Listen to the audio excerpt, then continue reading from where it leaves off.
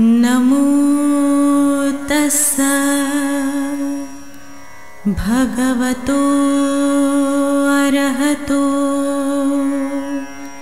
सम्मा सम्बुद्धस्स नमो तस्स भगवतो अरहतो सम्बुद्धस्स नमो तस्स। भगवतो अरहतो। सम्मा सम्बुद्धस्स बुद्धं शरणं गच्छामि। धम्मं शरणं गच्छामि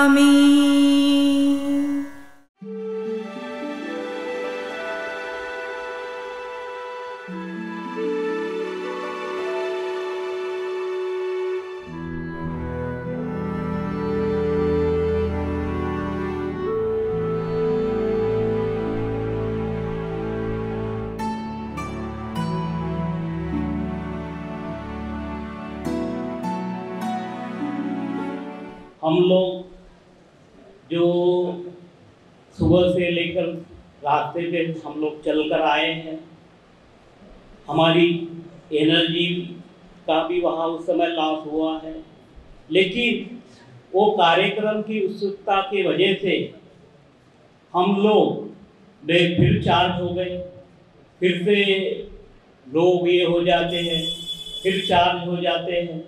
और विद्यार्थी जो क्षमता होती है, बुद्धि की जो क्षमता होती है, उसको सहन करने की वो बहुत ही ये होती है। आप लोग विद्यार्थी लोग हैं, आप लोग जानते हैं कि पैंतालीस मिनट का पीरियड क्यों रखा जाता है? उसकी जो ब्रेन की कैपेसिटी जो होती है, उसकी जो सहने की क्षमता होती है, उससे ज़्यादा नहीं होती, उसके जाने के बाद उनकी हलचल हो जाती है। सम्राट अशोक का जो भारत था, वो एक्चुअल प्रबुद्ध भारत था। वो काफ़ी विशाल भारत था। सवाल खड़ा होता है कि उस विशाल भारत के अंदर में क्या मनुष्य आज जिस प्रकार से जातियों में बिखरा हुआ है और जाति का जहर जो मनुष्य के मन में है, क्या इस प्रकार की सामाजिक व्यवस्था अशोक के समय में थी? बिल्कुल नहीं थी। इसके ऑर्कोलॉजिकल एविडेंस है। मैं ऑर्कोलॉजिकल स्टूडेंट होने की वजह से बहुत सारी बातें मैं ऑर्कोलॉजिकल व्यू ऑफ़ पॉइंट से देखता हूँ। कभी अगर आप इंटरनेशनल कॉन्फ्रेंस में चले जाते हैं आर्कोलॉजिकल इंटरनेशनल कॉन्फ्रेंस या बुद्धिस्ट आर्कोलॉजिकल कॉन्फ्रेंस में आपको आर्कोलॉजिकल एविडेंस बहुत सपोर्ट करती है। वो बेस होता है हमारा, आधार होता है समझाने का। सम्राट अशोक के जितने भी शिलालेख है, इसमें किसी प्रकार के जाति का उल्लेख नहीं है। उसमें मात्र चार संप्रदाय के नाम है, एक है श्रवण, जिसको बौद्ध बोलते हैं। दूसरा होता है ब्राह्मण तीसरा होता है न्यूग्रोथ मीन जैन और आजीवन। सम्राट अशोक के शिलालेख में मात्र धम्म और संप्रदाय दो ही शब्द मिलते हैं। तो व्हाट इज़ द धम्मा? धर्म क्या है? धम्मा क्या है? Discipline dhamma is the discipline what is the base of the dhamma uh, discipline the Panchsheel is the base of the dhamma base of the discipline भगवान, मैं जब एक सामनेर बौद्ध भिक्षु था, सिंगापुर में था, और मैं 20 दिन वहाँ पे रहा। मेरे साथ में तागड़े साहब वगैरह थे, गायकवाड़ साहब भी थे, और मैं बहुत छोटा था। मेरी उम्र बहुत कम थी। वहाँ के solicitor general of the Singapore, उन्होंने मुझे एक प्रश्न पूछा था, मिस्टर सत्यजीत, कि भगवान बुद्ध की शिक्षा मानव और राष्ट्र को क्या देती है? भगवान बुद्ध की शिक्षा मानव और राष्ट्र को क्या देती है? तब मैं उनके प्रति प्रश्न का प्रश्न का प्रति उत्तर दिया था कि भगवान बुद्ध की शिक्षा मानव और राष्ट्र निर्मित के लिए ही है और भगवान बुद्ध की अकेली पंचशील ये मानव और राष्ट्र निर्मित के लिए है। आप देखना चाहिए पूरा दुनिया को आप ऐसे टटोलो बैठे बैठे कि दुनिया के अंदर में पाँच प्रकार की घटनाएँ घटती है। नंबर वन हत्या होती है। ये मात्र भारत में होती है, ऐसी बात नहीं है। ये सारे दुनिया में होती है। नंबर टू चोरी होती है। भारत में होती है, ऐसी बात नहीं है। पूरे दुनिया में होती है। नंबर थ्री व्यभिचार होता है। ये मात्र भारत में होता है, ऐसी बात नहीं है। सारे दुनिया में होती है। नंबर तीन, झूठ बोला जाता है। ये मात्र यहाँ पे नहीं, पारे दुनिया में बोला जाता है। नशा पड़ता है, मात्र भारत में नहीं होता है। पूरे दुनिया में होता है। बुद्ध की पंचशील, ये यूनिवर्सल है, सार्वभौमिक है, सार्वदेशिक है। ये किसी एक संप्रदाय के लिए नहीं है। आप अपने आप को बौद्ध बोलो, जैन बोलो, सिख बोलो, मुस्लिम बोलो वाट बोलो, जो बोलना है बोलो। इससे कोई फ़र्क नहीं करता। पंचशील इज़ यूनिवर्सल पंचशील, ये यूनिवर्सल है, ये सबके लिए है। ये राष्ट्र निर्मित की आधारशिला है पंचशील। मैं आपको जो बुद्धिज्म की बात कर रहा हूँ, ये socio economical view of point से मैं समझा रहा हूँ। बाकी आध्यात्मिक दृष्टिकोण से अलग बात है। ध्यान है हमारे पास में। ध्यान क्यों किया जाता है? कि जैसे कि आप यहाँ पे बैठे हो, आप जो जीवन जी रहे हो, वो वर्तमान में जीना है हमको। हम भूतकाल में नहीं जी सकते, हम भविष्य में नहीं जी सकते। जो भी जीवन हमको जीना है, यह वर्तमान में जीना है। तो अपने मन को कैसे अपने जीवन को वर्तमान में अपने मन को रखते हुए कैसे जीवन व्यापन कर सकते हैं, इसलिए हमारे पास में ध्यान है। उसके और भी बहुत सारी चीज़ें, इतना मैं आपको नहीं बता सकता हूँ। कभी प्रशिक्षण रहा तो मैं ये सारी चीज़ें एक्सप्लेन करके बताऊ। Number two what is the prajna wisdom wisdom क्या है? विजडम ये लोक कल्याण के लिए है। सील समाधि प्रज्ञा। संघ संगठन संवाद। ये हमारी आधारशिला है बुद्धिज्म की, जिससे भारत बौद्ध में करने का यह हमारा आधार है। तो भग, सम्राट अशोक के समय में जातियाँ नहीं थी, लेकिन वर्तमान में है। एक भारत आप जो देख रहे हैं, वो जातिहीन है, जिसमें जातियाँ नहीं है। Baba Saheb said revolutions and counter revolution page number 149 during the time of the ashoka, means Ashoka के समय में ब्राह्मण जो वर्ग है, ये पद दलित की तरह था। जैसे आज आप अपने आप को बोल रहे हो पद दलित आप अपने आप को शूद्र बोलते हो। ब्राह्मण, क्षत्रिय, वैश्य और शूद्र, ये किसके साहित्य के वर्ड्स है? ये हमारे साहित्य के वर्ड्स नहीं है। ये ब्राह्मण साहित्य के वर्ड है। उन्होंने आपको शूद्र बोला और आपने मान लिया हम शूद्र हैं। साथियों, समाज को आर्थिक रूप से मज़बूत करने के लिए आदरणीय भीमराव यशवंत आम्बेडकर साहब के नेतृत्व में हमने लॉर्ड बुद्धा बैंक की स्थापना की है, साथियों। आज दो करोड़ दो करोड़ तीस लाख रुपए जमा हो गए, साथी। उसका उद्देश्य ये हमारे जो छोटे छोटे बिजनेसमैन हैं, आपके गुजरात में बड़े बड़े बिजनेसमैन हैं धीरू भाई अंबानी और उनके बेटे आज कर रहे हैं। हम चाहते हमारे समाज से धीरू भाई अंबानी क्यों ना हो? उसके लिए हमारी बात है कि छोटे छोटे जो बिज़नेस करना चाहते हैं, हमारे बैंक की तरफ़ से वो अभी वो आरबीआई की गाइडलाइन के हिसाब से उसका प्रो प्रोसीजर चल रहा है। हमारा उद्देश्य ये है कि जो हमारे भाई बहन जो बिज़नेस शुरू करना चाहते हैं मार्केट में जाते हैं, तीस परसेंट, छत्तीस परसेंट से वो उसको कर्जा लेना पड़ता है। हमारा भाई कर्जा में डूबा रहता है, उसके लिए उसको कम से कम इंटरेस्ट पे सात परसेंट, दस परसेंट में अपने लॉर्ड बुद्धा बैंक से अपने भाई बहनों को वो लोन देखे जैसे उदाहरण के तौर में कोई किराना शुरू करना चाहता है तो अपना एक लाख का लोन लेगा, अपना किराना शुरू करेगा, अपने पैरों पे खड़े होगा, अपने परिवार को आगे ले जाएगा। मैं ये थोड़ी बात कहना चाहता हूँ, और आदरणीय भीमराव साहब के नेतृत्व में लॉर्ड बुद्धा बैंक आपके गुजरात में शान के साथ चलना चाहिए साथियों। उसके लिए आप सबको मैं आह्वान करूँगा कि जब ब्रांच खुलेगी तो आपने अपना पैसा अपने बैंक लॉर्ड बुद्धा बैंक में देना है साथियों। आप सभी को मिलकर बड़ी प्रसन्नता हुई आज। कि इतने बड़े संख्या से आज आप यहाँ पधारिए हैं। मैं धन्यवाद देता हूँ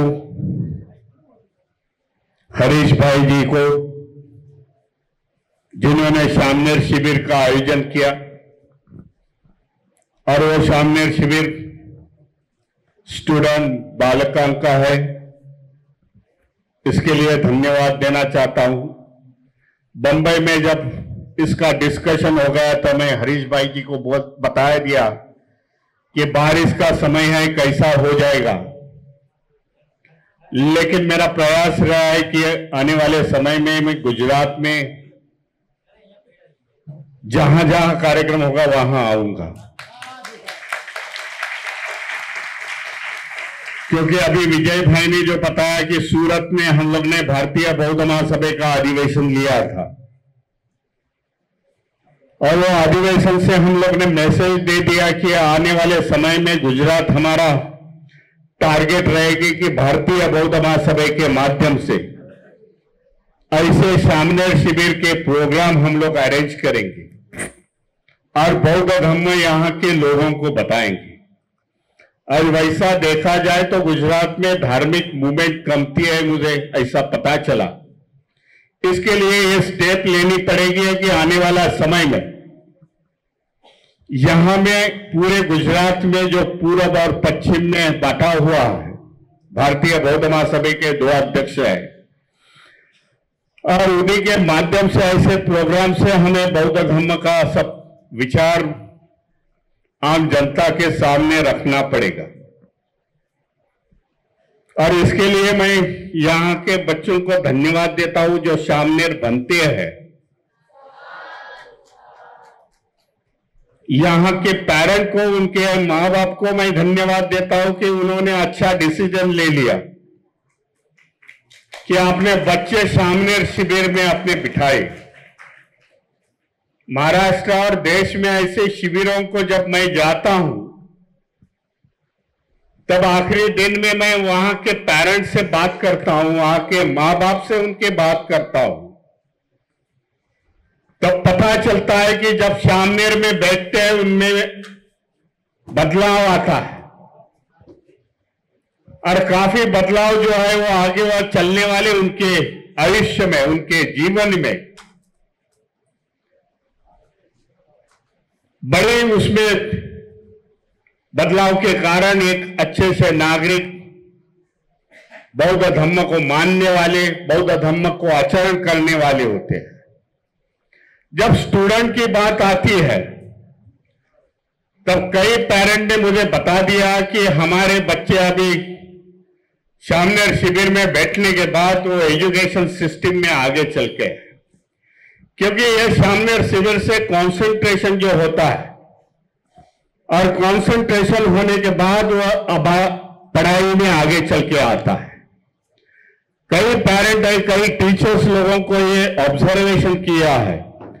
मैं समझता हूँ इसी कड़ी में जो सामने स्टूडेंट बैठे हुए हैं, उनके भी ऐसा ही बदलाव आ जाएगा। और एजुकेशन में, अपने शिक्षण में आगे चल के निकल जाएँगे। मैं यह देखा हूँ कि जो बदलाव मुझे, मैं जानता हूँ।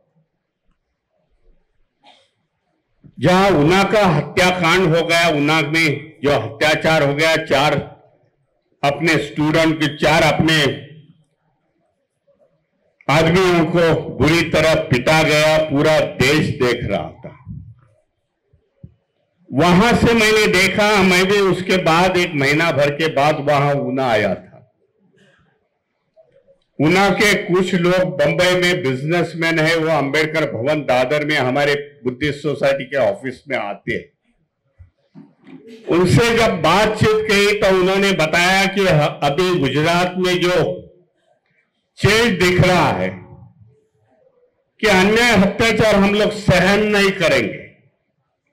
हम स्वाभिमानी है, हम जिस धर्म से बिलोंग करते हैं, जिस जीवन में हम जगते थे, वो छोड़ देंगे। ऐसे फलक पे चाँद सितारों में एक है। जैसे फलक पे चाँद सितारों में एक है, हमारे भगवान बुद्ध तथागत करोड़ों में एक है।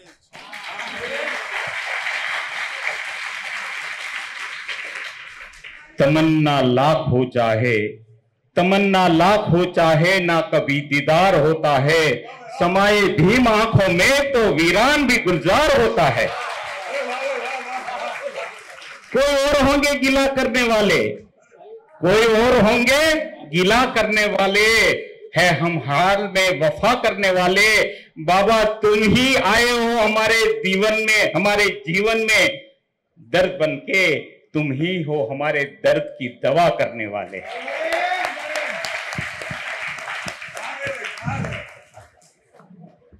बाबा साहब ने हमको धम्म दिया। बाबा साहब ने हमको धम दिया। और बाबा साहब का सपना का भारत बनाना अभी हमारा कर्तव्य है। ये कर्तव्य हमें पूरा करना पड़ेगा। अभी ऐसे छोटे छोटे श्रामणेर बनाने के माँ बहनों को मैं विनंती करता हूँ कि आपके बच्चे जो जो स्कूल में या आश्रम शाला में या छात्रालय में पढ़ते उनको आप उनको परमिशन दो। क्योंकि परमिशन के बिना बौद्ध धर्म किसी को भी अलाउड नहीं करेगा श्रामणेर बनने के लिए। ये नियम होता है। तो ये नियम में जब भी आपका बच्चा जाता है छात्रालय में तो आप उनको बताइए कि तुमको श्रामणेर बनना है। क्योंकि श्रामणेर बनने से उनकी पूरी जो लाइफ है, उसमें चेंजेस आना शुरू हो जाता है। भगवान बुद्ध का जो धर्म है, वो आचरण का धर्म है। आचरण आचरण से दिखना चाहिए कि ये बौद्ध है। आचरण से दिखना, वो चलता है, तभी मालूम पड़ता है कि ये बौद्ध होगा। तो हमें वो बौद्ध जो बाबा साहब का सपना का, भारत का जो बौद्ध धर्म है, वो हमको यहाँ इस धरती पे लाना है। वो तभी हो सकता है ऐसी छोटी छोटी शिविरें करके, ऐसा छोटा छोटा श्रामणे बनते बनेंगे तो उसमें वो ज्ञान आएगा, उनको धर्म के बारे में शिक्षा आएगी। तो मैं सबको रिक्वेस्ट करता हूँ कि आप अपने बच्चे लोगों को श्रामणेर के लिए प्रोत्साहित कीजिए। जब भी वो कोई भी स्कूल में जाते हैं तो पाँच छह दिन के लिए उनका जो मुंडन करना मुंडन करना यानी सबसे अपना जो प्रिय वस्तु अपने शरीर में जो होती है, वो बाल होता है। और जब बाल निकालने के लिए हम प्रतिज्ञा करते हैं तो बाल निकालने की प्रतिज्ञा, ये बड़ा संकल्प होता है। और ये बच्चे लोगों ने ये संकल्प किया, उन्होंने अपने बाल निकाले, क्योंकि वो धम्म के शरण में जाना चाहते हैं। तो धम्म के शरण में जाने के लिए बाल निकालना ज़रूरी है। आज वो, ये छह दिन में आप बिलीव नहीं करेंगे, उन्होंने कितनी सारी गाथाएँ मुँह मुँह से ये कर दी। वो बोलते हैं, अभी ये बच्चे लोग शादी किसी का घर में शादी है या कुछ भी है, ये बच्चे लोग जा सकते हैं। ये अपना 18 साल के बाद में हम उनको बोधाचार्य का सर्टिफिकेट देंगे। अभी हम एक सर्टिफिकेट देंगे श्रामणेर का सर्टिफिकेट और श्रामणेर का जो सर्टिफिकेट है, वो बहुत महत्व का है। महत्व का इसीलिए है, कोई भी बौद्ध राष्ट्र में आप जाना चाहते हैं, आपके पास में यदि श्रामणेर का सर्टिफिकेट होगा तो वो बौद्ध राष्ट्र में आपको बड़ा सम्मान से वहाँ आपको आमंत्रित किया जाएगा। आपको तुरंत वीज़ा दी जाएगी, क्योंकि बौद्ध राष्ट्र जैसे जापान, चीन है, जापान है, ऑस्ट्रेलिया मंगोलिया है, श्रीलंका है तो ये सभी जो बौद्ध राष्ट्र है तो ये बौद्ध राष्ट्र में आपको जाने के लिए ये श्रामणेर सर्टिफिकेट रहेगा तो आपको वहाँ जाने का सहूलती भी मिल सक, मिल सकता है। इंसानों को गुलाम बनाने वाले बहुत बादशाह देखे होंगे मगर गुलामों को इंसान बनाने वाला एक ही बादशाह डॉक्टर भीमराव आम्बेडकर साहब। एक ही शहनशाह डॉक्टर भीमराव आम्बेडकर साहब। उनका कौन?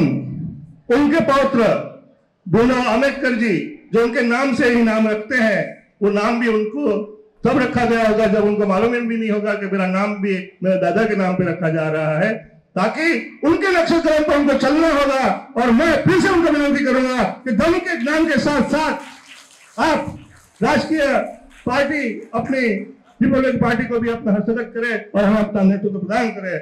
हमारे पास सबसे ज़्यादा मेन पावर्स है। हमारे पास सबसे ज़्यादा हमारे समता सैनिक दल है। हमारे सबसे ज़्यादा दम ज्ञान है, जो हम ही प्रदान करते हैं। हमारे पास दम भी है, सेना भी है, बल भी है।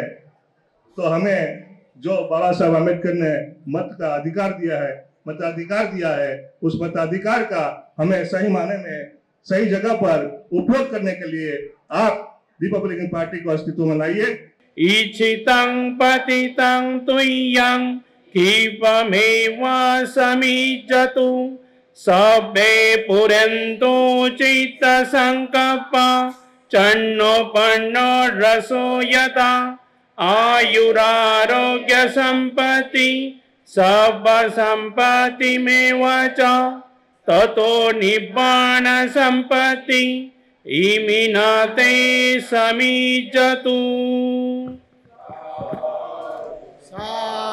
समीजतु मंगल हो मंगल हो सुखी हो कल्याण। किस तरीके से अपना जीवन बिताना चाहिए? ये भगवान बुद्ध की शिक्षा उन्हें सिखाती है। मैं श्रीलंका से कोलंबो नावियाना बुद्धिस्ट मॉनेस्ट्री में कुछ साल विनय पीठ का अभ्यास किया हूँ। और जो श्रीलंका की धरोहर है, बौद्ध संस्कृति है वह सिक्के देश भर में मैं भगवान बुद्ध की विचारधारा, बोधिसत्व डॉक्टर बाबा साहब अंबेडकर जी की विचारधारा जन जन तक पहुँचाने का काम कर रहा हूँ। शिविर में आने के बाद मुझे भगवान बुद्ध का सूत्र पठन और बाबा साहब का ज्ञान मिला है जो कि बहुत भाग ले ज्ञान लोगों को ही मिलता है। जैसे कि मेरे गुरु गुरु जी सोमेत बोधी जी और मेरे गुरु जी ने मुझे सिखाया और सुबह मैंने सिखाई। सुबह चार बजे उठना, स्नान करना और सूत्र पठन करना और ध्यान भावना करने। और मैं, मैंने सीखा है कि ये सबको लेना चाहिए क्योंकि शिविर में सीखने वाले का जीवन अच्छा जाता है। मुझे शिविर में बहुत कुछ सीखने मिला। शिविर में मेरा नाम है भंत अनिरुद्ध है और मुझे शिविर में रोज़ पाँच बजे नियमित उठना, स्नान करना और ध्यान भावना में एक कलाक बैठना, फिर सूत्र पठन करना और विषय शिक्षण नियमित मिली और बुद्ध और डॉक्टर बाबा साहेब आम्बेडकर का जीवन चरित्र मिला। जिस, जिसका हमें स्कूल में ज्ञान का स्कूल में ज्ञान नहीं मिलता, उस ऐसा हमें धम का ज्ञान यहाँ शिविर में मिला। मैं सबको ऐसा ही कहता हूँ कि सब श्रावण बने और शिविर का ज्ञान ले। मैं शिविर में आने के बाद मेरा नाम बनते जीवक है। मुझे शिविर में से बहुत कुछ सीखने को मिला है। जैसे सुबह पाँच बजे उठना, ध्यान भावना करना, सूत्र पठन करना, विषय का शिक्षण लेना, ऐसे ही धर्म का ज्ञान भी सीखा है त- તેમજ तथागत भगवान बुद्ध और बोधिसत्व पूजनीय डॉक्टर बाबा साहब का जीवन चरित्र सीखने को मिला है वैसे ही इस- ये भी पता चला है कि इस चीवर की कीमत कितनी है और मैं यही कहूँगा जिसने मुझे चीवर दिया है उसका मैं सदा आभारी रहूँगा राम